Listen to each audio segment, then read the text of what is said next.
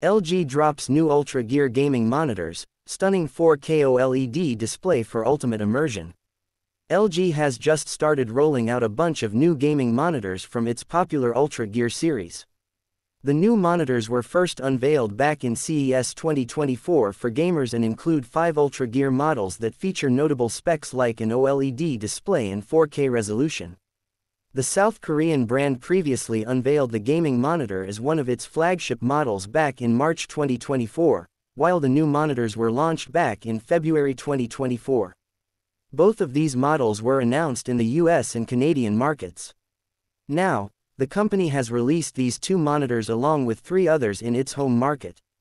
It is the world's first monitor certified for dual mode, this basically means that it can switch between an ultra-high 480Hz refresh rate at full HD resolution and ultra-high definition mode with 4K resolution at 240Hz refresh rate. It is also the first model to adopt LG's Pixel sound technology by projecting sound directly from the display through vibrating film components built into the monitor. Other notable features include a tall 32-inch screen, 0.03 milliseconds response time, anti-glare, and low reflection. LG has kicked off sale for the curved gaming monitors. These offer a massive 45-inch monitor and a 27-inch monitor that round up this list.